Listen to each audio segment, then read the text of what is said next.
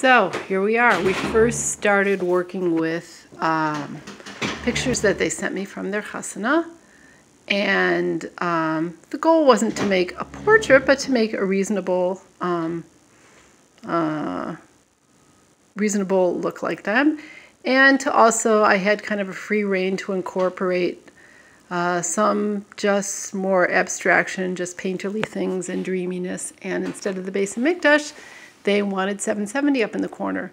So it kind of went through many changes as I worked on it. Um, they are a very Lebedik couple, and the poles of the chuppah to me just kind of were almost like ribbons of um, streaming, and it's just streaming, like with lots of bright colors, kind of symbolizing their happy energy.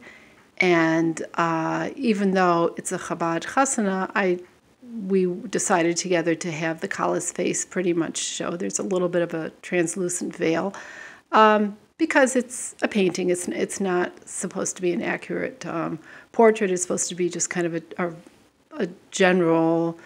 I incorporated lots of different pictures before the chuppah, during the chuppah, after the chuppah, in in and it's just supposed to be the general symbol of their chasana, but we want to be able to see her beautiful face. Um, just the idea that under the chuppah is their home and there's a lot of light around and shechina around the chassan and kala, and of course, light and energy coming out from 770 into the world and into their particular chuppah and home, mitzvah Shem.